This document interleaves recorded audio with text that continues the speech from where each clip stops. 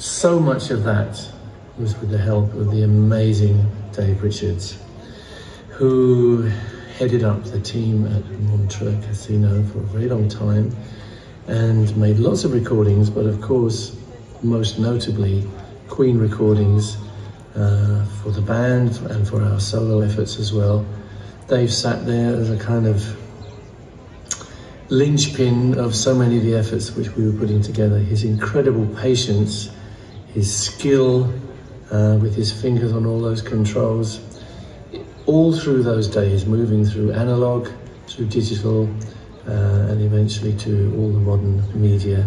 Dave was there, technically superb, creative, someone to bounce off, always there in our corner, and um, an amazing engineer, stroke co-producer, one of the greatest in history, I would say.